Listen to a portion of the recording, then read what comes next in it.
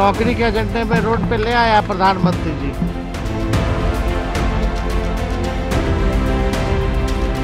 बिहार में अब तक 40 में से सिर्फ़ 14 सीटों पर ही वोटिंग हुई है और हर दूसरे दिन नए नए मुद्दे सामने आ रहे लालू यादव की पार्टी आरजेडी मुसलमानों को आरक्षण देने की मांग पर घिरी तो तेजस्वी यादव बीजेपी को धर्म शास्त्र पर खींच लाए।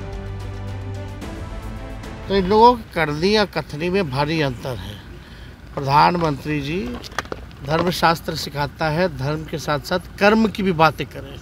तो थोड़ा कर्म की बातें दस साल आपने क्या किया उसके बारे में भी थोड़ा बता दें। इधर तेजस्वी पीएम मोदी को धर्म शास्त्र समझा रहे थे उधर बीजेपी मुस्लिमों को आरक्षण देने वाली मांग पर अभी तक आग बबूला है। श्रीमान लालू प्रसाद यादव बिहार के लिए अभिशाप हैं इस चुनाव में पूरी तरह से नर्वस हैं और अब किसी तरह से वोट प्राप्त करने के लिए तुष्टिकरण की राजनीति की बात कर रहे हैं। तीसरा चरण था कल। लालू जी को लगा कि चलो हम भी मैदान में कूद पड़ते हैं इस तरह के बयान देते हैं शायद तुष्टिकरण हो जाए ताकि इनका राजनीतिक संतुष्टिकरण हो सके। सवाल एनडीए के पास है तो जवाब तेजस्वी के पास।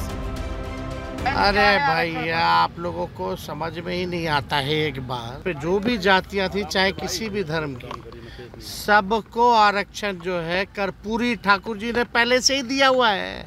अब तक हम लोगों ने जो आरक्षण बढ़ाया जाति आधारित गणना कराने के बाद नौवें सूची में डालने के लिए कैबिनेट ने हम लोगों ने भेजा था। अब तक जो है नौवीं सूची में वो उन्होंने किया नहीं। क्यों नहीं किया?